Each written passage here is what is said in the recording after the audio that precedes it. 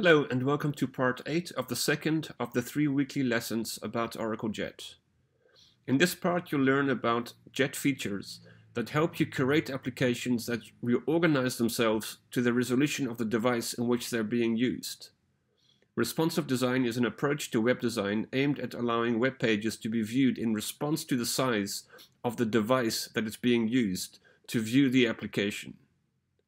Some of the components and techniques you'll learn about in this part have been mentioned in previous parts already, though here they're all covered within the same part of the course, so that you're able to get an overview of all the features related to responsive design at the same time.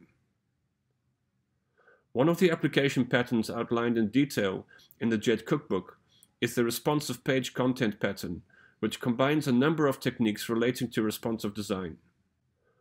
One design technique that can be used to help with responsive layout is to use the OJ panel component as a placeholder with different alt colors being used for the different areas of your page layout.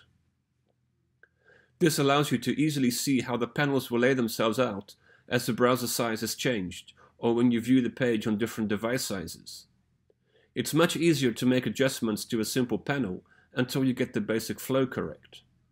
After things look pretty good, you can start adding in the correct components and the content to replace the OJ panel look and feel.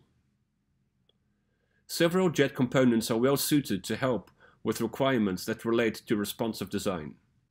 In addition to the layout features and components that you've looked at so far, also be aware of the behavior section of the JET cookbook, which provides information on responsive helper classes, responsive JavaScript, and responsive loading. In this part you've learned about all the features in JET that support you in creating applications catering to responsive design requirements. For your homework for this part, choose a layout design with different layouts on desktop, tablet and phone screen sizes, using OJ Flex and OJ Flex item CSS classes, along with OJ Panel to create the layout. Keep in mind the topics discussed in this part. Think about how you could change your view model code if you are on a mobile device versus desktop. And with that, we complete part 8 of the course and see you in part 9.